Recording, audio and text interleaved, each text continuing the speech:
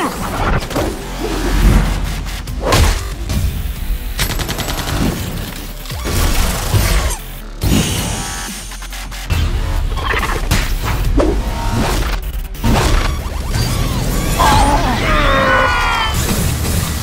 Force X is locked and loaded.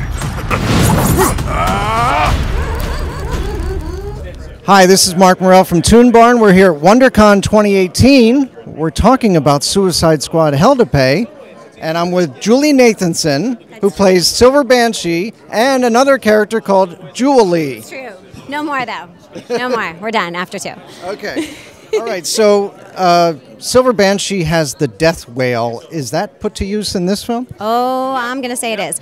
Yeah, that was one of the things that got me really excited about Silver Banshee, um, because again, as a voice actor, I my power is in my voice as well. So for her to be able to have her powers for perhaps evil and not for good, um, I would say that's pretty enticing to me.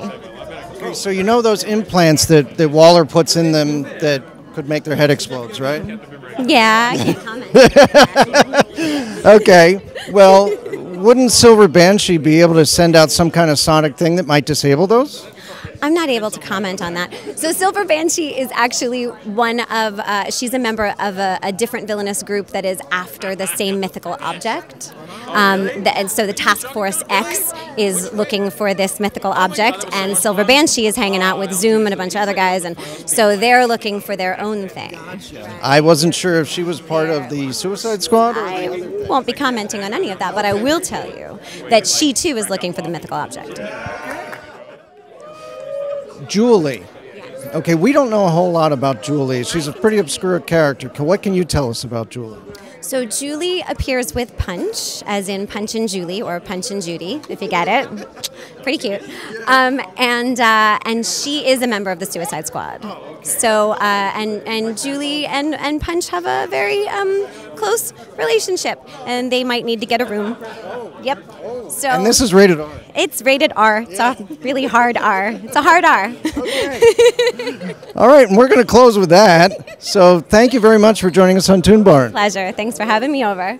Bye. Thanks. That variety is so much fun. It's so much play.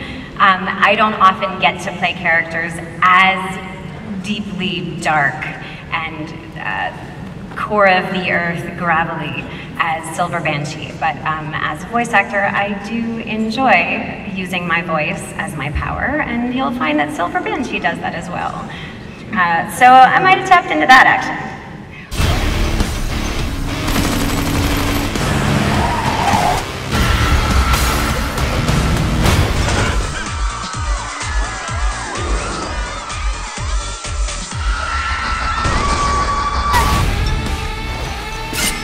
I think we're being summoned.